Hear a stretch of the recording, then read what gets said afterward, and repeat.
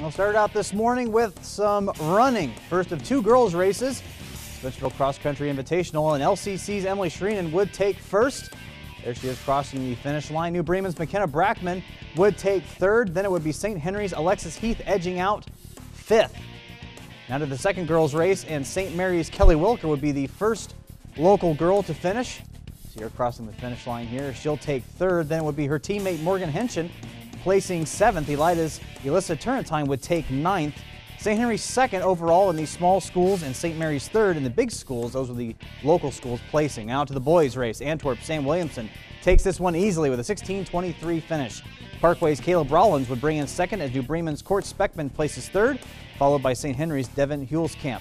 Now the last race of the day. As Bath's Wyatt Stahl would place sixth. See the start of the race there.